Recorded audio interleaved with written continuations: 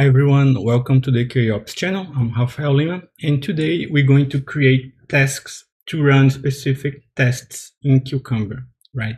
So in, in the previous video, we already learned how we can do that, uh, how we, we can tag specific tests to just run, to just run those specific tags. But now we need to be able to run that systematically. Last time we did it uh, manually, but now we need to create something that is going to automatically know what we want. So if you haven't subscribed, please do so. Hit the bell to receive the, to receive the notifications of my next videos. And I'm also going to be posting the links for the previous uh, ones so you can keep it up. Right. So this is what we we have so far. We we already create some tags called sanity. So we have a couple tags called sanity, sanity here as well, on the user sanity and on the store sanity. So this is how we separate out sanity ones. And in the last video, I showed how you can run only those. And I'm, I'm going to post the links for the previous one so you can uh, see exactly how we did that. We do, we are going to do this now through Gradle, right? So Gradle uses Groovy and I, create, and I can create tasks on it. So I can say task and I can uh, give the name of my task. So it's sanity test. And I can give it like a type test. So we already know that it needs to run tests. And now I can set some definitions, right? On last video, we created an environment variable. So we did, we did export cucumber flags sanity. So this is what we did, right? So we're going to do the same thing. We're going to, but here I'm now going to say this is the environment variable and it's going to be named cucumber filter tags and it's going to filter only the tag sanity, right? That's it right? So if I do Gradle clean sanity test, it's going to execute. I can open my report and it only executed the sanity. See sanity, sanity, again sanity, and the last one sanity as well. So everything was executed. Oh, this one here, this sanity as well. Awesome, right? So now we are able to run the tasks, uh, the, the tests only with sanity. But does it make sense to uh, create an environment variable? Because if we think about it, I'm running in Java like Groovy. It's in my in my project, the JVM, not in Java, JVM. And I want Java to use that information. And I'm from my JVM, I'm creating an environment variable on a Unix to be used on Java, which is JVM as well. So I can, and I could, and I should, uh, from my Groovy communicate straight to Java. And why did I show you environment variable? Because this is going to be very important when we create our CI. When we have our CI, our CI can is going to be running on a Unix computer, right? So I can eh, create an environment variable from my CI that's going to be used for Java. But if I'm right on Groovy on the JVM, doesn't really make sense, right? So the other option that we can do is called we can create another task called regression test, right? Because we now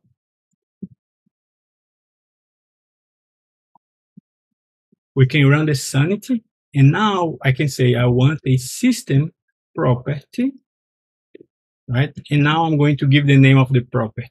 Since this is on the JVM, I'm not going to use this pattern here because we are using all caps snake case because this is a Unix variable pattern. We are going to be using Java pattern for system properties, which is everything lowercase separated by dot. Filter tags. And now this is the magic part. now I need to tell which tags that I want, right? Regression, it's everything that I have except some specific tests, right? Uh, actually regression is everything. But in our case, I don't want to duplicate my test, right? So if I already ran the sanity, I don't need to run the sanity again on my regression, right? That's a waste of time. So if you take a look at the Cucumber runner, we already separated some of the tasks, right? We, we, when we run the tags, we say, I do not want the, I do not want to run, I don't want to run the whip, which is work in progress. And I also don't want to run the quarantine because the test can be flaky, can be the passing, failing sometimes. Um, and I just want to mark it as to be ignored and I can check later whenever I have time. So what I'm going to do, I'm going to copy here and I'm going to say, I don't want to run neither my whip, my whip, neither my quarantine. And I also do not want to run the sanity because it was already ran. So this one is only executing the sanity and this one is executing everything that is not whip quarantine, and sanity. Right? All right. So let's clean and do regression test.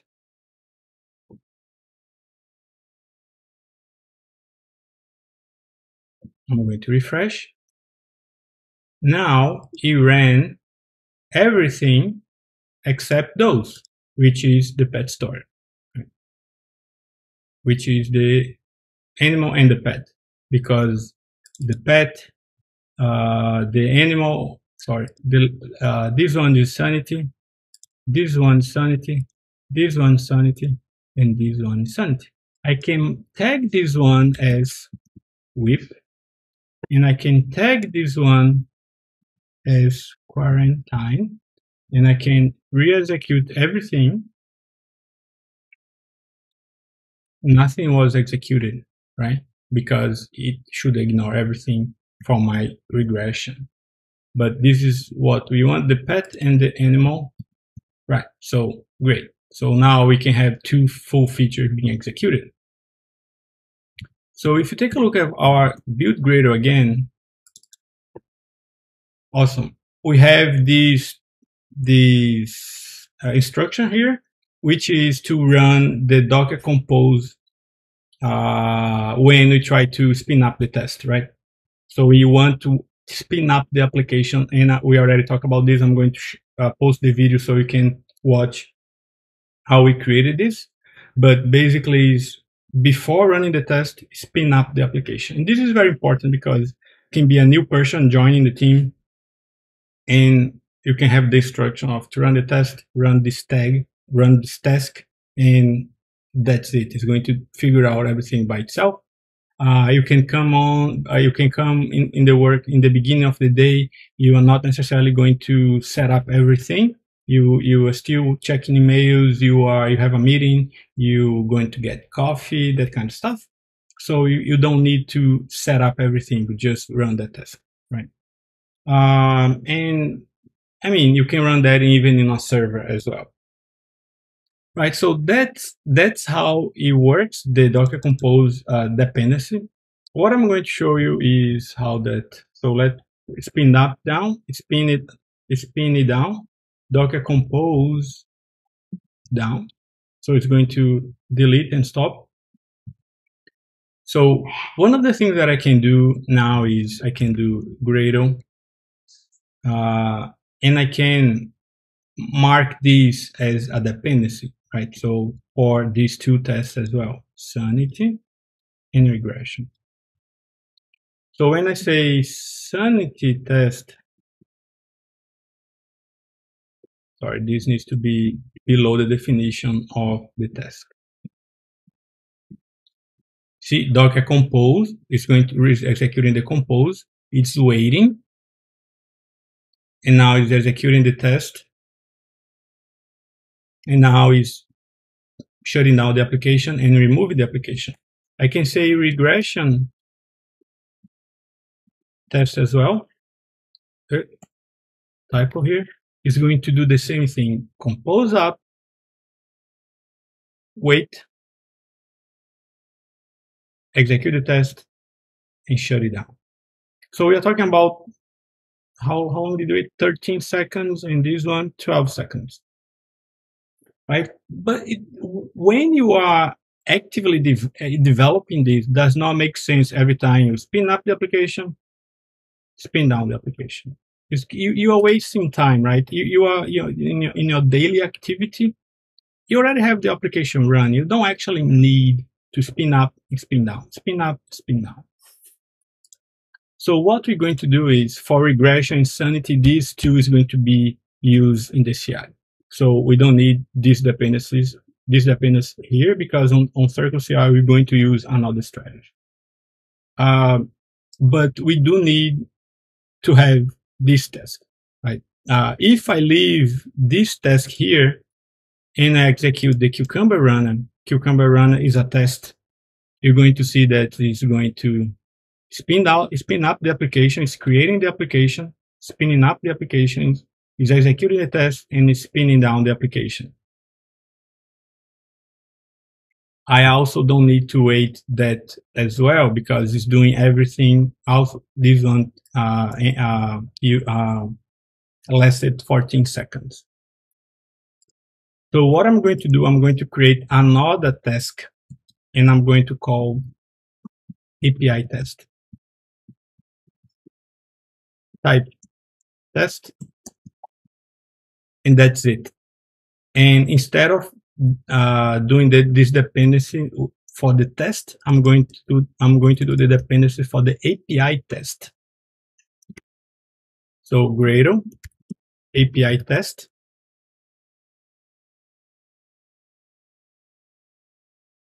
Require API test. Oh, sorry, it's task, not test. There you go. So compose up, compose, it's executing the test, compose down. This time it's executing everything, right? So it's executing everything because I'm not filtering out. But 13 seconds because I'm executing the test one. If I do just test, is going to fail because the application is not up. So Docker compose up D. Let me wait. The application is already running. It is already running. Now I can do Gradle test. Instead of taking 13 seconds, it's going to take five seconds. So eight seconds less. So, but Rafael, it's eight seconds too much. It's pretty fast. Yes, but you're going to be executing these dozens of times a day, right? So if you multiply dozens time eight, it's going to be a long time that you're going to be waiting. If you also sum it up with the week of this or the month, is an incredible amount of time that you're wasting, and you don't need that. You don't need to be wasting that time. So now we have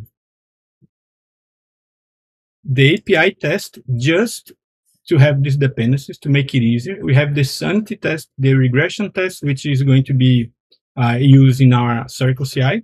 And the test itself, it's, it's free because I can also run from my Cucumber runner and I don't need to, I know, I don't need to be waiting for it to spin up, spin down because I freed the test, uh, task from from these dependencies. So this is basically what I wanted to show you. In the next video, going to be uh, start uh, figuring out the CI, and this is very important, right? Having this because regardless of which CI you're using, Travis CI, Circle CI, uh, GitHub Actions, uh, GitLabs, uh, Jenkins, all of those are using a Unix machine, Unix server underneath it which means that you can execute any of these tasks. As long as you know where you're going to put, where you're going to call these tasks, it doesn't really matter, right? Because this is on our code and this is the beauty of it, right? So thank you for watching. If you haven't subscribed, please do so. Hit the bell to receive the notifications of my next video. And if you like it, give it a thumbs up. And it's really important that you do because that's how the channel can keep growing. Right? So thank you. See you on next video.